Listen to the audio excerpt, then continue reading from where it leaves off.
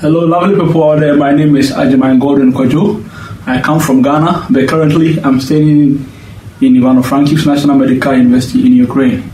Uh, I, would like, I would like to take this opportunity to say a little story about my house, my personal background in life. I was born in Ghana on 22nd January 1990 in a city called Kumasi, Agona to be precise.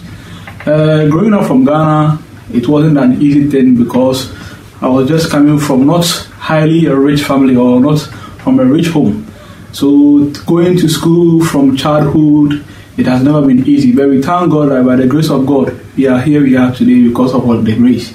I started my primary and then I came to my junior high school and I came to my senior high school in 2005 to 2008.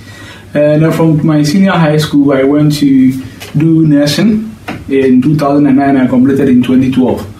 So I was working in a hospital, and then I, oh, 20, in the year 2013, I decided to enroll myself in, in medical school. So currently, I'm in a hot final year, final year medical student in Ukraine at Ivano-Frankivsk National Medical University.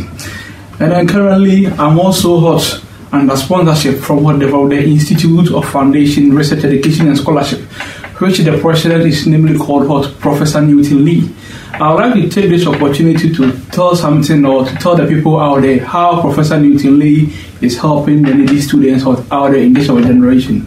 Professor Newton Lee helped me from my level 400 year to my final year of completion, paying my tuition fee and everything. So I would like to take this opportunity that uh, our charity donors and also philanthropists out there should help and then donate and help, help needy students who are out willing to do something like or who are willing to achieve their dreams.